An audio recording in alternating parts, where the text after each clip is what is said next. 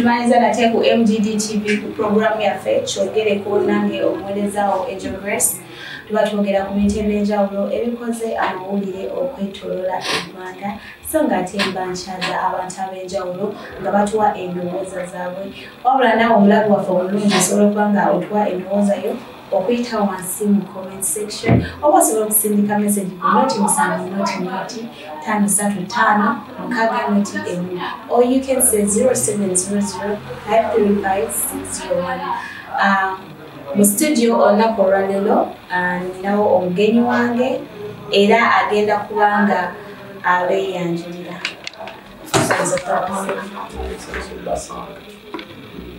Uh, a lot of people watching you out there.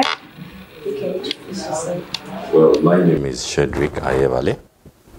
Uh, I, have a very few titles to my name. I can't say a lot.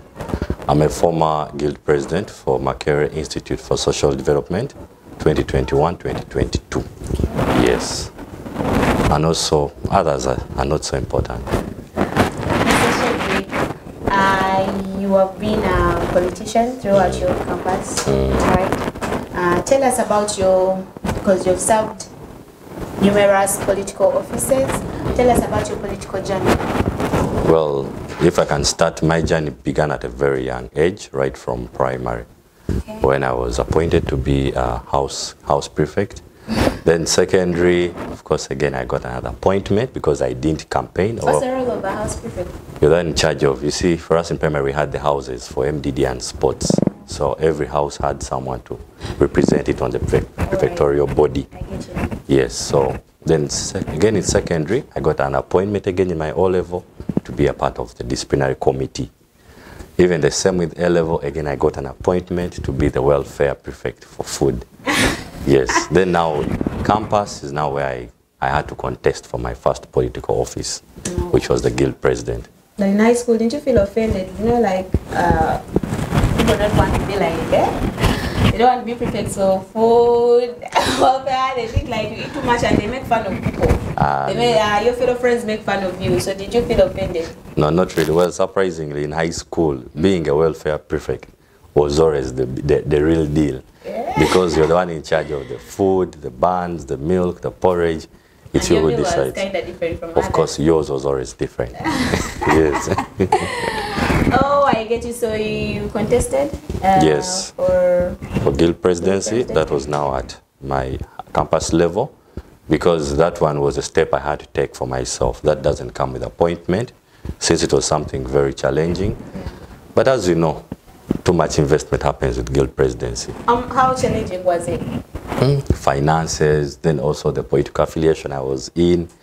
And it was a very tricky time because that was during the 2021 elections. I was also in that same period. And then the party I chose to come with, oh my God. But luckily enough, things came through and I made it as Oh, the which president. party? Which party did you come? The national, the national resistance movement known as the NRM. Okay. Oh, yeah. I find it uh, it becomes difficult uh, at some point. Exactly. So, uh, you said uh, about the funding, like it was. So, you mean as a guild president, you should encourage? Yeah, well, because before the national the National Resistance Party endorses you, you first have to put in a little funds prior to the process of endorsement. So the challenge I had was those first weeks before I was endorsed, I had to inject in my own money, convincing students, getting that support. Then, but as you know, luckily enough, I got the connection through a friend who introduced me to the NRM Secretariat.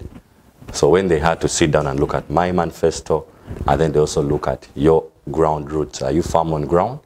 Then the funding comes in place. So Okay. that's how I luckily, I can say luckily because it wasn't a very easy Are you still looking? Uh, are you still looking um, through politics? Do you plan? Do you intend to to take it to the national level? Or Yeah, of course, because now, by the time I came out to contest for guild presidency, Yeah. that means I want to represent the concerns of my fellow students. And for the national level, I have the interest to now represent the concerns of my constituents, of the people where I represent. So, national level, I'm coming. how prepared are you? Very prepared. really? yes. I understand. So according uh, to Uganda has the highest uh, percentage of youth uh, but uh, of youth who are uh, who are who are contesting for leadership, but sadly, they are not given opportunity. Yeah, true. What do you have to say about that? Well, the challenge we have as Uganda is we still see the old people as the ones who can think for everyone. When the actual reality is, if you look at Ugandan statistics, Yeah. the youth comprise of 78%. That means out of a 48.5 million population of Uganda, a youth carry a very big percentage. True. And then what beats my understanding is that how can an elder represent a youth? Seriously, it doesn't add up because Yeah, the concerns of the youth are easily understood by fellow youth. So you can't again tell an elder to be, and now the well, there challenge. is that saying that says um, an old broom. Yes, all the So- brooms, so- all the brooms sweep Uh, every so I corner. think uh, the elders they know better. They can, No, they no. represent the youth better because they know everything. No, no, not really. Oh. They can represent their fellow elderly very well. Okay. Yeah, but the youth, it's very hard. Because if you look at the youth and the challenges we have, Yes. it can best be understood by fellow youth. Because you live within them, you've been one, you've experienced it, and you're actually still experiencing it. That's and now that challenge is I don't know how we shall get rid of that gap because the elders really don't want to get rid of office. Exactly. So um, knowing that there is that challenge, knowing that there is that gap, what have you done with your ability? What have you done in order to bridge that gap? Well, first of all, me, me as me, when I was in office, I've tried to bring out, as for Guild presidency, I tried to bring in place very many youth ventures. Because, like, for example, I have a campaign that is for the girl child, the Pada Girl campaign, which is running. and I'm very happy it's moving smoothly. Then I also have uh, a campaign for the young boys, which is a savings scheme, where when they get money, they get to do the bricks, get to know, have their own mechanics shops. That's. So that means I'm not trying to make youth relevant in society. Then now the issue is if you have an elder in, in, in, in office or in power, Yes. they can't see that. An elder, all they'll think about is, let me lobby for my fellow elders, let me do this. But for us, what we look at is we look at the youth majorly. And most of my projects target the youth. Exactly. Let's go for a short break. I'll be right back. Welcome to MGD Media, where our state of the art studios are based. We offer a variety of media services and production, which include music production, video production, photography, online marketing, printing of all sorts of documents. We also offer space to produce talk shows using our latest technology at affordable prices. Welcome back from the short commercial break. I'm still here with Mr. Shedrick. Uh, Mr. Shedrick, as we're still talking, you, said like um, the youth should be given opportunity, the youth should read the youth, reason being they understand the fellow youth. Well, um, there is this challenge. Why is it that the, the why is it that the youth who tend to rise up, uh, they are put down most especially let me say for example the ones in university that are imprisoned in case they they bring out their voice they're imprisoned they are tortured they are put down they they don't want them to to be heard they don't want them to say out what they have to say. What do you have to say about that? Well, for me, all I can start with, if you look at all innovations that are coming out in the world, they are all made by youth. All the creativity of innov- innovations, be it cars, be it phones, be it what, the elder reach a point and their mind locks up. But for us, the youth, our mind keeps what? Keeps researching, keeps finding out. yes And the issue of fellow youth being arrested, being tortured, being killed in universities because of politics, it's Yes. very absurd and very unfortunate. But the challenge is maybe the medium we use to communicate our feelings is a very wrong one. Oh. Because, first of all, we know we have a government in place, Yes. which we must respect Exactly. as youth. Yes, we might have grievances we want to communicate about, but the medium of communication we use is bad. If you look at all those, the torturing, the arrests, the killing, how do they come about? They come about when there's too much chaos. Demonstration and then stealing of people's property, all that can be something very bad. yes If you can have your peaceful demonstration, it's understandable. In that, even if the police comes out to arrest you or torture you, we have a right to go to court. But if you are arrested in a chaos, if you're arrested in maybe you're rioting and stealing people's property, looting, for example, Yes. there, trust me, it will be very hard to even defend you in court. So it's like it's okay for them to be to be arrested. No, it's not okay. It's never okay to be arrested because we are also human beings. We have a right to what? To say what we are feeling. Because as you know, Uganda is a free country. So we have also the right. The only unfortunate part is that right now there is too much negativity in there, in the freedom space. Yes. When you come out to express yourself, someone can think you want to overthrow the government, when actually it's something very wrong. So what should be done? What uh, in what way should they should these youth express themselves? Uh, what do you think should be done in order to correct them? Uh, in order to to guide them on how they should express their feelings.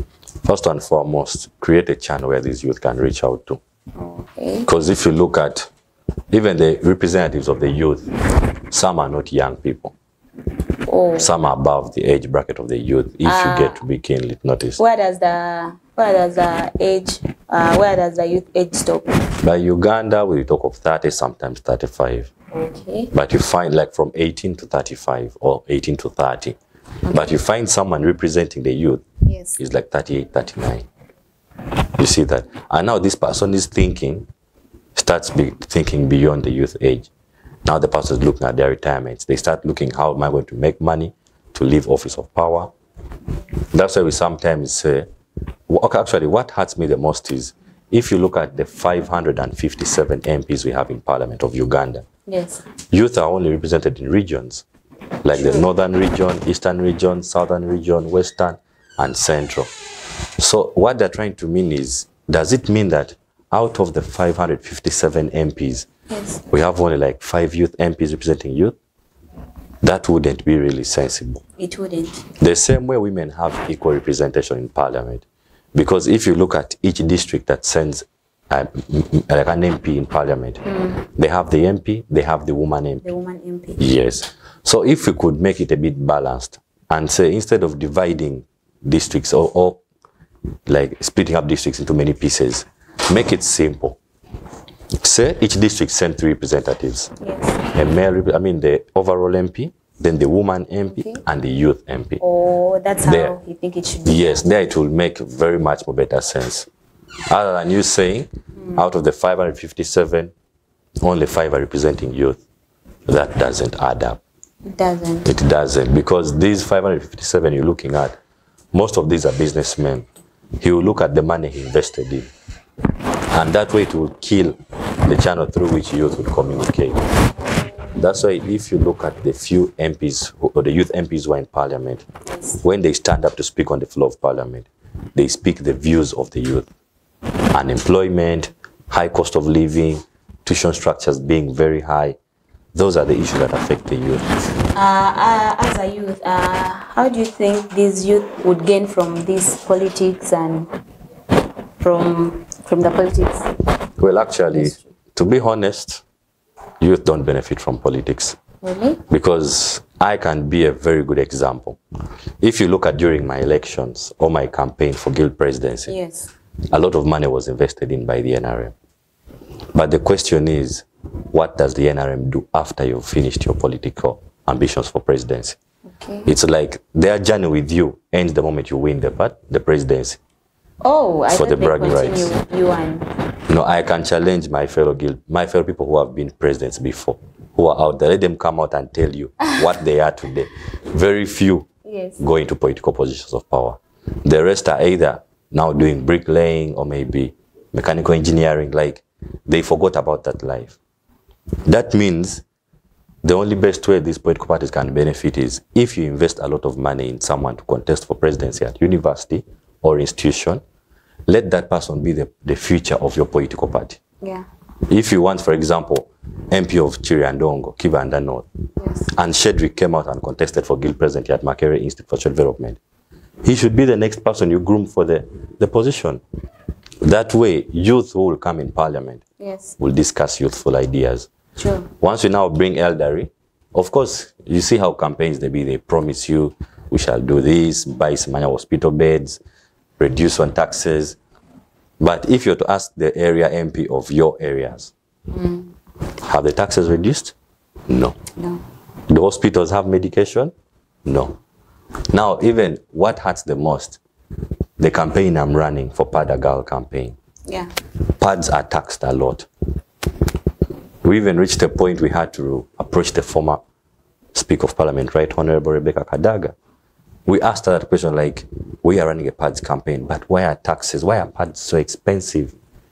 Yet government has the, how can I say, is it audacity to put free condoms in hospitals? Why can't they also put a dispenser for free sanitary pads? Because uh, I, I, I, I, I look at um, the life of the girl child out there, most especially the ones in the villages. Exactly. I don't think they have access to use those. They don't. Because now I have really seen painful scenarios of the girls suffering. You go to a, a village and then a girl tells you, for us, we don't know sanitary pads. All we know, Anna lives funny clothes. Then you wonder why. And they say, for us here to buy a sanitary pad, you must sleep with the man to give you that money. Wow. Yet we have a government in place, we have MPs representing these people, Yes. and then it would only be understood by youth. And If- that's when the idea of the youth would come in. Yes, True. Because if we had a, a youth representative, uh, they would understand what their fellow youth ladies are going through. That's why I told you the problems of the youth can be understood by youth, By you. not by an older person. True, because uh, there is no way, you know, older people, they will be thinking, uh, they will be thinking a lot of things and then they will. Everything of retirement. oh, of course. yes. I'm sure, I'm sure you've gained a lot from politics. Mm, I'm sure you've gained a lot Yeah. politics. I've gained. Uh, what lot. are some of the things that you've achieved? Well, first and foremost, I have achieved. I have achieved a very good network of friends. Okay. Most, most being my former guild presidents. Yes. In that we have reached a point, we have come out from just being former presidents to now colleagues and brothers and sisters. Sure. in that we think of ideas that can benefit the youth. We come out and say, you know what, you have a connection in this, you have a connection in this. Let's come together, put up something for the youth, and it moves. Yeah. Mm. And most now, for example, is I have a colleague in Soroti. For him, he organizes youth symposiums every year. Wow. He makes sure, and when he organizes that, he brings the area MPs of Eastern region to come together and meet the youth and get to realize the pains of the youth, which are real. So that shows you that it's only a youth who can understand the pain of the youth, Yes. not an elder. Okay. And then the other benefit I've gotten is, of course, the public respect, because now, you know, they say once a president, always a president. True. But then people always come to you for consultation and guidance. Yes. How can you do this? How, how is this done? Because they believe you contesting there, you participating in that, you have a, a different reasoning and a different capacity. Okay. And also the benefit is now I have a vision to say, okay, I want to now fight for the youth. Yes. Mm. Wow, that's good. Uh, and I'm sure you want to fight for the youth. You've got a lot of benefits, but there's those challenges that hinder you sometimes from achieving what you're looking at, uh, from reaching where you want to reach. What are some of the challenges you're facing in this politics industry? Well, the first challenge is the elders thinking you can't do something. Wow. You know, elders believe when a youth comes out, I want to do this, they say, ah, no, you don't have experience. It's very sad. Yet, unfortunately, if you look at all the people who are in parliament today, almost 55% of them have been in parliament for over 25 years. That means they also gain the experience by learning on job. And most of them even weren't even class monitors way back in school. But now for us, the experience we have is we have been student leaders Yes. we have represented the views of students on the board of governors, where you, where you get up and, and tell a principal tuition is too high. You have over 1 million students, but let it be at least this minimum amount because students come from different walks of life. True. So the first challenge is that when you come out and say, I'm coming for office, the elder start, ah, and I no experience, what, what, then you wonder, they, were they born with experience? They also learned it. The other, the other challenge is politics has become very expensive. If you see campaigns, if you don't have money, people don't listen to you. True. Yes, so those are the two big challenges which we as youth face in politics. Okay. Um, I'm sure this message is sinking in one of the youth heart who is watching this. Um, I would love you to advise the youth out there who are watching you because they would love words of encouragement. uh, they would love to hear from you. They would love to get that advice from you. What kind of advice do you give to the youth out there? Well, the advice I give the youth out there is believe in yourself. Because trust me, it's only you who knows how your journey is going to be and what you want from your journey. People will come out and say you can't do this, you can't do that. But for you, ask yourself one question. When you are deciding to start what you are doing, were they there with you? Of course not. That means it's only you who knows how your vision is, what your end goal is, and how you want to make it possible, make it in life, sorry.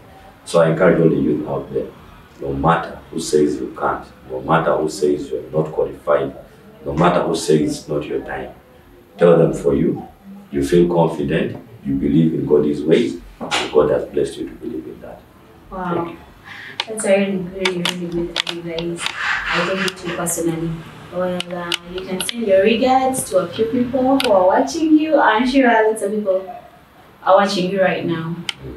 Well, my regards, I would send my regards to my family first and foremost because they have been very supportive, right from my grandmother, Jajanai Gabena, then to my guardian parents, Honorable Samuel Worotada and Esther Akulo, and also my colleagues. It's just a big family, and also to the people of Kibanda North constituency, that's in Kiryandongo district. I hope they are ready for the man who's making noise here. But I just send my regards to Uganda. Let's maintain peace, let's love each other, let politics not divide us but unite us.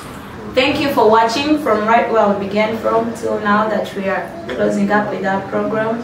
I have been with Mr. Ayemara Shadrach and he has told us to believe in ourselves, to trust ourselves. The sky is the limit and the youth out there, you can you can make it. You can change the world. Just believe in yourself. Well, yenainaaliyo awulira nti ayagala kola business naffe sangibwa kabalagala emabega wa equity bank oba osobola okuba ku noti noti noti tano satu noti emu or you can send 0700535601 let me know what you think about this show in the comment section. Till we meet again bye bye